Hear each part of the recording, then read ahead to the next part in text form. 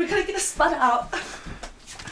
Welcome to Get the Spud Out 2008. Spud, it is um, Do a little tap dance. the night before you are due to be born, and your mother is- doing all she can to Bother the people down there. um, get us kicked out of our new apartment.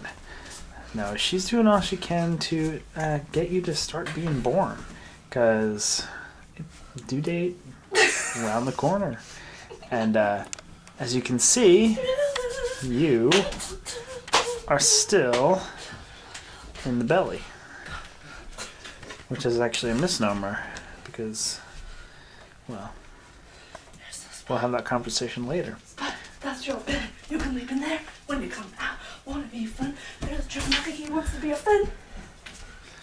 Um, as you can see, your mother's artistic genius. I used to be a professional dancer.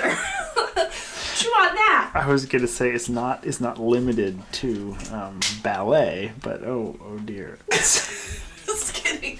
That's to disturb you and embarrass you when you're old. I hope we we're, we're gonna have to like show this at your wedding or something. you Oh know? gosh. I'm stopping.